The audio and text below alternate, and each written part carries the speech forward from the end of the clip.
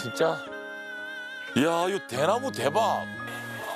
어머, 어머, 어머 귀여워, 어머 귀여워. 귀여워. 그게 형상 너무 좋아. 잠깐만요. 한국인의 밥상이에요? 뭐 뭐지? 내가 지금 뭘 보고 있는 거지? 한국인의 밥상 느낌인데? 안녕하세요. 어? 아이고.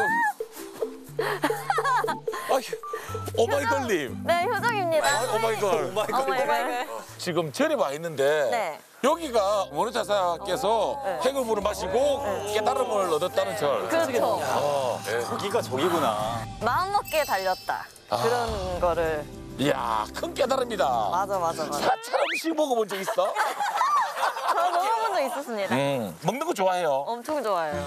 제일 좋아하는 음식이 뭔데? 저 갈비찜도 좋아하고, 찜닭도 좋아하고. 사찰 음식을 두고 아, 맞다, 맞다, 맞다, 맞다. 좋아하는 음식이라 그러면 좀 약간 그쪽이지만 네. 저는 절대 어. 좋은 게 봄, 여름, 가을, 겨울에 나오는 나물이 다 좀씩 다르잖아요. 그렇지.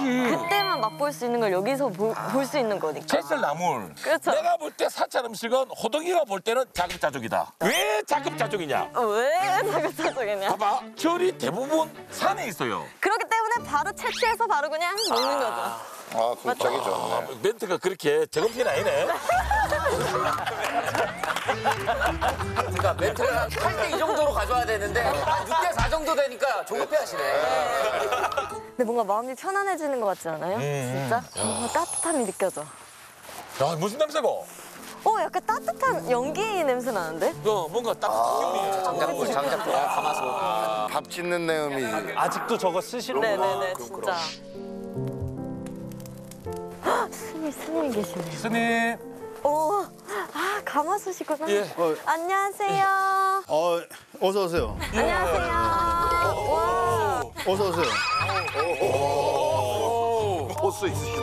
뭔가 고수의 느낌이. 고수의 느낌 나죠? 지금 지금 뭐 하고 계시는 거예요? 밥 짓고 있어요.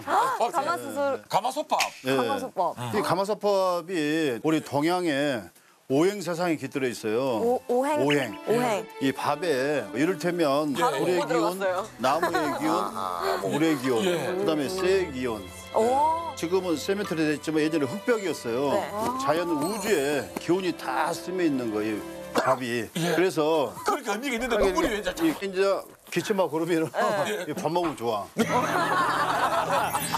바로 근데 사실, 지금 네. 이게 전기밥솥이 아니고 네. 솥밥이잖아요. 예, 예. 그 밥이 다 됐는지 안 됐는지 어떻게 하세요? 아, 그것은 밥물이 이제 나오는데 처음에는 묽은 그런 그 방울방울이 이제 떨어지거든요. 예. 그러다가 점점 이제 익어가면서 그것이 이제 진해지는 거예요. 약간 찐득찐득한 예, 물이. 그렇죠. 그러다가 마지막에는 이제 땡 끝이에요 이제. 야, 그래서 눈물 나는 게 이게 어떤 깨달음을 예. 여기 때문에 나는 거죠. 근데 아무 상관없어. 아, 그럼요.